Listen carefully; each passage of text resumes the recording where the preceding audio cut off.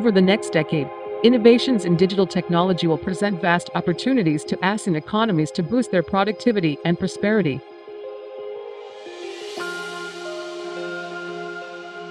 Development impediment is no longer limited to facilities but to the limitation of human creative ability. The more widespread adoption of existing technologies, coupled with advances in the use of artificial intelligence, AI has the potential to transform business capabilities. Additionally, environmental and climate changes are affecting ASEAN countries to develop renewable energy sources and technologies to mitigate pollution and create a sustainable future. Another trend impacting the future of work is the aging populations in ASEAN countries. To avoid shortages of labor and overall reduction of productivity in these economies, policies and programs are being developed to help extend working hours for employees and to help implement increased training for elders in next decades. Future labor markets will be more fluid, less secure and technology-driven, the range of tasks that can be handled by technology will expand. Mass production will no longer necessarily mean mass employment. Như chúng ta đã biết rằng vấn đề phát triển bồi dưỡng nguồn nhân lực đó là một cái quyết sách rất là lớn của mỗi quốc gia. Trước cái tình hình như vậy đấy, với cái trách nhiệm của mình là năm chủ tịch ASEAN thì Việt Nam cũng đã chủ động đề xuất và hội nghị cấp cao ASEAN đã đưa ra một cái tuyên bố về phát triển nguồn nhân lực trong một cái thế giới Việt Nam đang thay đổi. Cái mục tiêu bao trùm của cái tuyên bố này chính là các quốc gia trong ASEAN và cộng đồng thế giới cùng chung tay nhằm chăm lo bồi dưỡng, đào tạo và phát triển nhân lực nhằm thích ứng với những thay đổi trong thời kỳ mới, thích ứng trong một thế giới mà công việc đang thay đổi nhằm tạo ra một cái sự phát triển bao trùm và bền vững. Ở đó, kỹ năng lao động, việc làm thỏa đáng là những ưu tiên hàng đầu trong cái quyết sách mà uh, hội nghị cấp cao ASEAN đã đưa ra. Applications of new technologies opens new business opportunities but also presents new challenges. The business sector, especially small and medium-sized enterprises, which account for a larger proportion of number in ASEAN economies, are vulnerable in this process. By investing in human resource development, their business will become more responsive and adaptive in the changing world of work. If we're talking about uh, the uh, investment into uh, human resource, we have to talk uh, about the investment into SMEs first. Uh, in terms of uh, human resource development, so I think that is the key, you know, because says they are like a backbone of any economy. Without them, we cannot uh, work, you know. So I think that is uh, that's why, you know, when we talking about education and training uh, uh for businesses in any economy uh, or country, I think that is first priority is that we have to focus on MSMEs.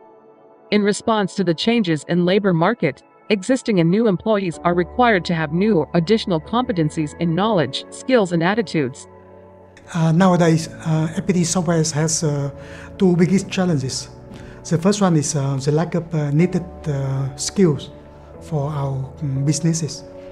The second thing is redundancy of those skills. And for those people who are affected, we need to retrain them. In FPT software, we are um, solving the problem in three ways. The first one is um, we're working closely with FPT University and the online um, university called FUNiX in order to make sure that the curriculum are relevant nowadays. The second one, we invest uh, on our employees through learning and development initiatives. So very frequently, our employees had to go through refresh training. The last uh, main way we coping with this is uh, our leaders are taking the lead. They go to classroom to transfer their knowledge and also to motivate our people. In the process of greening economics, some jobs in some parts of the economy are likely to be destroyed, while other areas will have job creation and demand for certain green skills. ASEAN must incorporate green jobs and green skills in the human resources development perspective. This is vital as green jobs acquire employees to apply green skills that promote the concept of decent work. Thus, promoting green skills is necessary to promote sustainable growth in ASEAN region that minimize waste and pollution, restore ecosystem, and improve energy efficiency. This is also in line with achieving the 2030 Agenda for Sustainable Development Goals as targeted by all of us.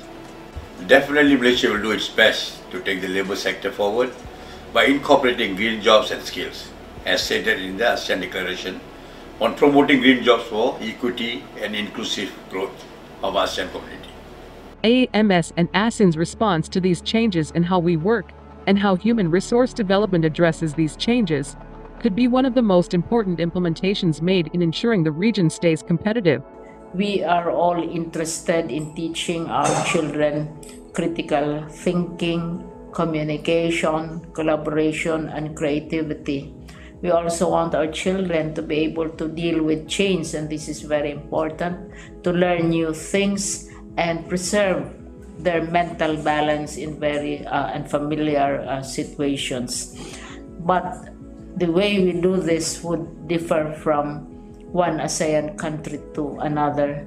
So exchange of experience will be very uh, useful and will give us lessons and we can be sharing whatever learnings, challenges that we face and deal with in our uh, efforts to make education relevant for uh, the world of the future. The ASEAN TVET Council, being a cross-sectoral platform, can contribute to the advancement of human resources in the region. You can expect that in the coming months, we shall start developing our work plan. This will define relevant policies, reforms, and programs on skills training that will help us. Lastly, the collaboration and commitment of the members of the ASEAN Tibet Council would be its biggest contribution to achieving an empowered, future-ready, and resilient ASEAN human resources. We assure the region that the ASEAN Tibet Council will do its best to further advance our human resources. In the face of unprecedented and rapid change in the world of work, employers and workers need to adapt quickly to new ways of working and doing business. So should our education and training systems. They need to prepare workers to be agile and mobile in the face of future employment trends and shocks.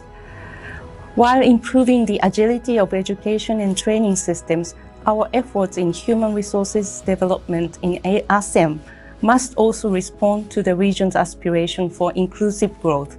The pandemic is a stark reminder of pre-existing inequalities, pushing many of the burdens on the most vulnerable.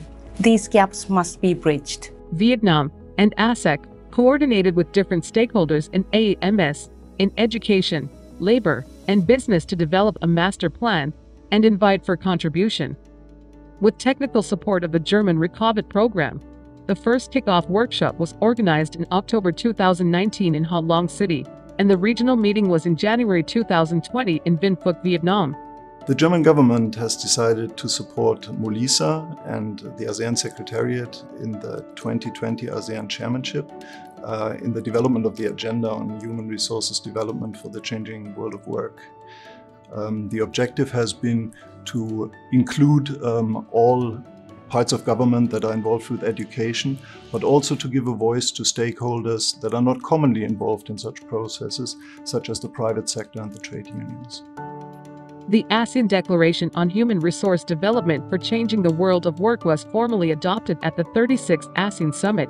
At the summit, the leaders agreed on the need to restore regional and international economic activities and help stabilize the lives of people and business in the future. The ASEAN Declaration on Human Resource Development for the Changing World of Work, of work uh, fully supports the ASEAN Vision 2025, especially in building a people-centered, people-oriented community.